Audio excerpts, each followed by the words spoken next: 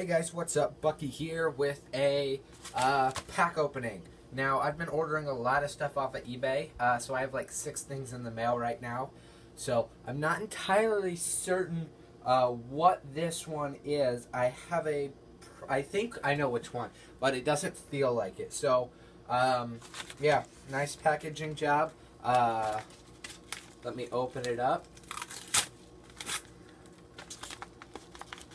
I think this is, ac- yeah, it's definitely action figures. Uh, Because uh, everything I've ordered off of eBay right now is action figure related. Uh, a lot more action figure stuff is coming to my channel. Have a few stop motions on the way. Working on that stuff. Are these? Yes, they are. They are clone troopers. So, I ordered these four clone troopers.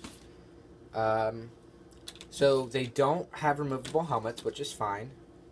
Um, and they are really good posability, great for videos. They are uh, going to be in the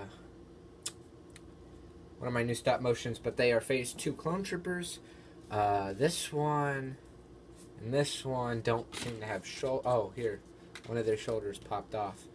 Uh, in, oh yeah, both of their shoulders popped off. That's actually kind of weird, but you know we'll work with that.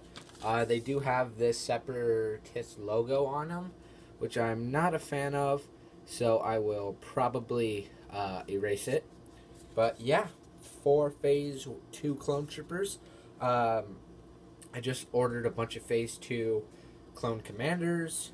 Uh, these guys only cost me twelve dollars free shipping. Uh, they were up for like two hours on eBay, and I saw them and I just had to get them. So I got four guys for twelve bucks, which makes them three bucks a piece. And for these clone troopers, they're usually 10, 12.